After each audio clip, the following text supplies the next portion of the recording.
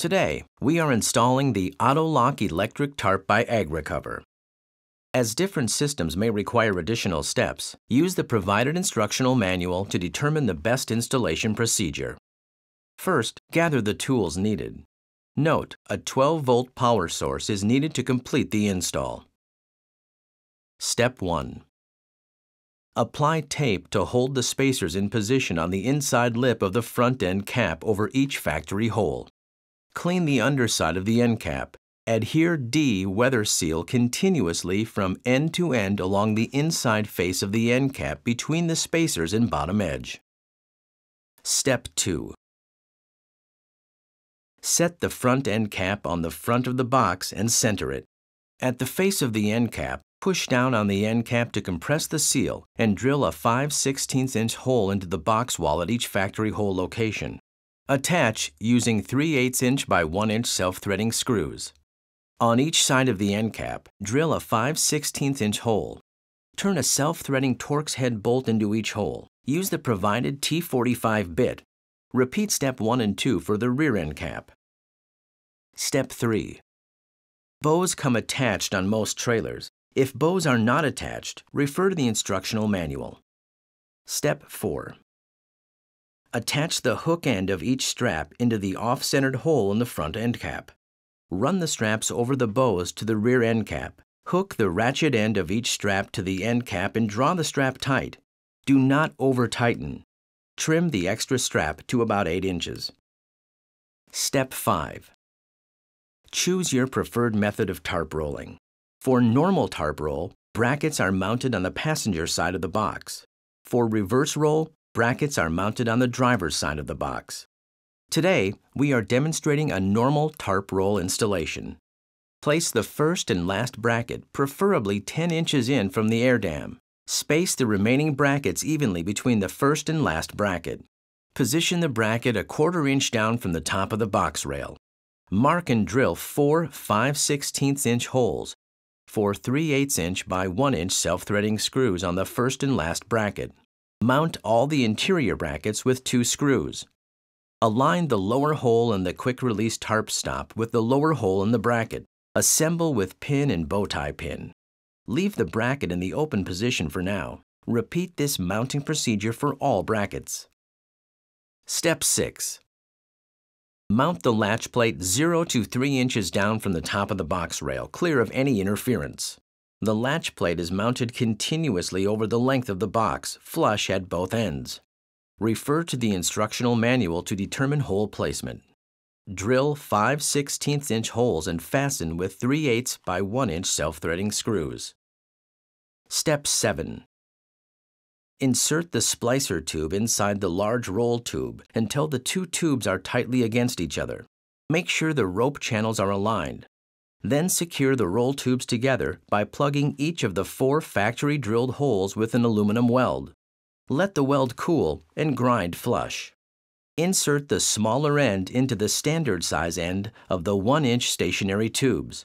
Align the tarp rivet holes at each far end of the tube. Drill a 7 32 inch hole through the two layers of the tube wall. Make sure the rivet is fully seated and set the drive pin with a hammer until flush. Step 8. Refer to the instructional manual to determine hole placement. Use a 7 32nd inch bit and drill a hole in the marked locations on the roll tube.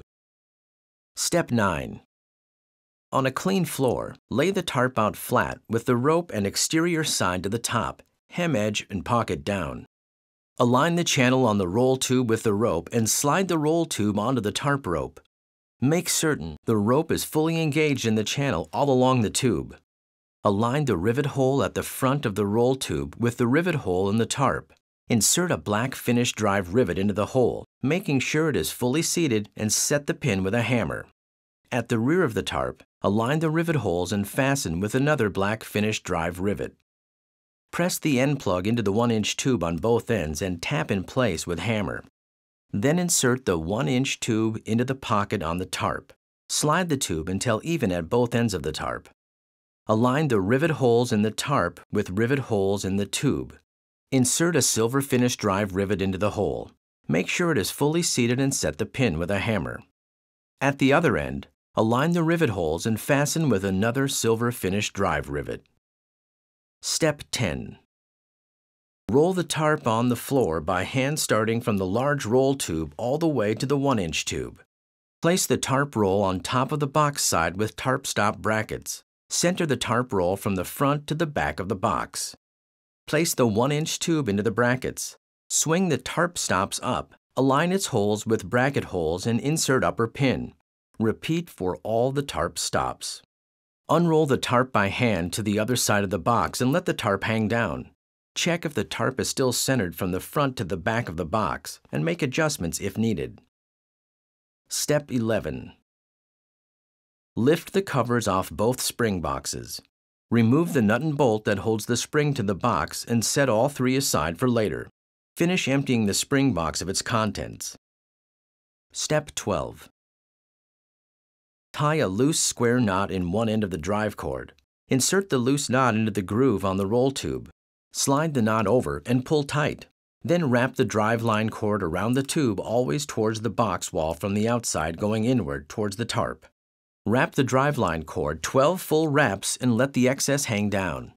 Slide the cord to be at least 1 inch away from the tarp. Step 13. Position the spring box 10 to 14 inches down from the roll tube, clear of any interference. Orientate the spring box so the pulley end is at the same end as the driveline cord. Align the notches on the spring box with the cord hanging straight down. Refer to the instructional manual to determine hole placement.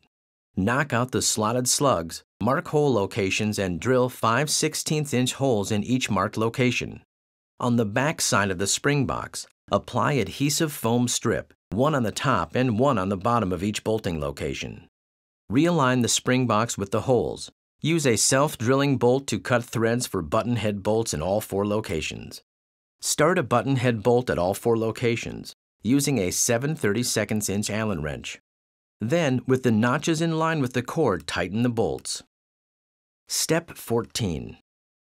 Inside the spring box, Place the spring loop towards the middle of the truck box.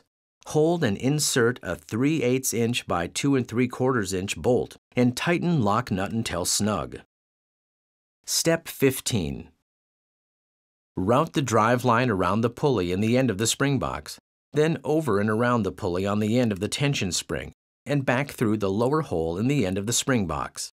Pull the cord snug tight and make a mark on cord, in line with number 17 on the spring box. Pull on the cord until the mark is visible beyond the pulley frame. Then clamp the cord to the spring box with the lock pliers. Tie a square knot at the mark on the cord. Hold the cord firmly, release the lock pliers, and gradually let the spring pull the cord up to the knot. Spring is properly tensioned when pulley settles back and lines up approximately with the number 15 on the spring box. Wrap tape around cord to allow about 2 inches of the cord after cutting the excess off. Step 16. Slide the wear tube around the spring and driveline assembly in the spring box. Align the holes in the untabbed door with the holes at the end of the spring box and insert a 5 16 inch by 3 inch bolt. Then tighten with a lock nut, snug tight only. Repeat for tab door at the other end. Swing the doors closed, with the tab door overlapping the opposite door. Then insert keeper pin. Repeat steps 12 to 16 the other end of the trailer. Step 17. Slide protective sleeve over roll tube. Slide the drive cartridge into the end of the roll tube. Then, slide the vinyl cap over the cartridge shaft and onto the roll tube. Leave the drive cartridge loose for now. Step 18. Measure and determine with instructional manual the best location for the pivot mount on the front of the trailer. Step 19.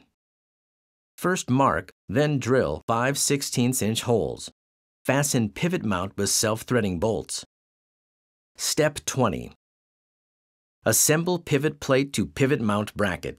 Use 3 8 by 1 inch carriage bolts with 3 8 inch nylock flange nuts. Leave bolts loose for now.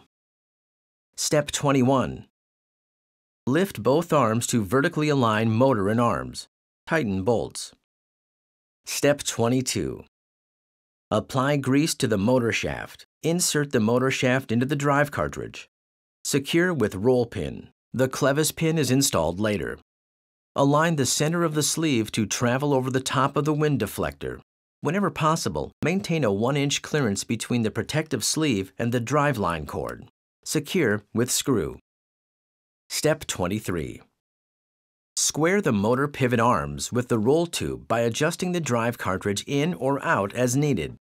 Measure 180 degrees opposite of the rope channel and mark 6.5 inches from the beginning of the drive cartridge.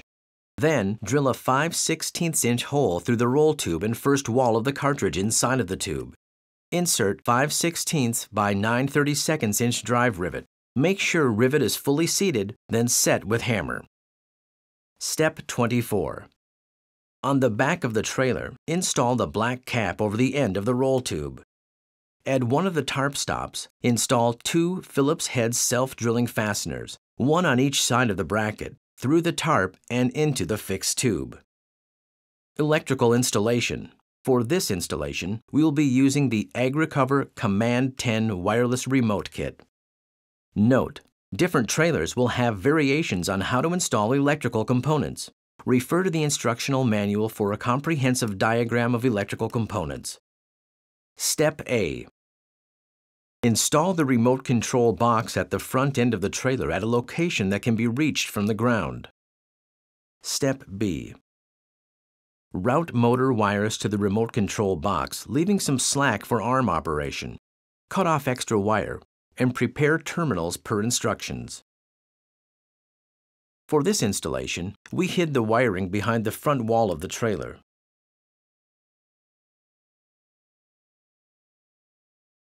Step C. Route a wire from the remote box to the front pivot mount.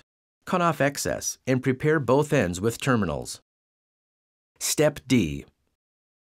Attach prepared wire. Insert the provided dual pole connector socket to the front pivot mount. Step E. Route tractor wiring kit from battery to front pivot mount. Connect wires to the battery and hook up the dual pole connector. Step 28. Using the motor switch, align the motor shaft hole with the tarp shaft hole. Insert clevis pin and cotter key, bend the tabs to secure. Step 29. On both ends of the trailer, lift the driveline cord over the latch plate guard. Gently tap the latch plate guard onto the edge of the latch plate until ends are flush. Test the operation of the tarp. Observe general operation of the tarp and its moving parts. Make adjustments if needed. I hope this video has been helpful in showing how to install the AutoLock electric tarp onto your system. Remember, AgriCover products are tested, trusted, and guaranteed. Thanks for watching.